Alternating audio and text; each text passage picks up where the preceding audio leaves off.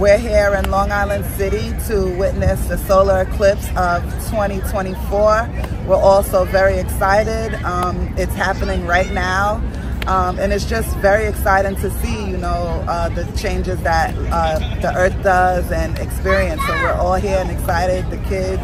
Luckily, the weather is amazing, and so it's happening now. We're watching. I'm just here to see one of the great spectacles of nature and the cosmos and to take advantage of this opportunity that only comes along uh, very rarely, so I feel very lucky to have such a great uh, viewing experience available to me. So today I'm with my dad to watch the eclipse. I saw the 2017 one, but we came down to see this one because it's like more visibility. And yeah, just seeing everyone here is like so fun. Everyone gathered together, taking a break from their day. So yeah. And then my dad told me that this is the moon that will like decide if Eid is on Wednesday. So I think that's really cool.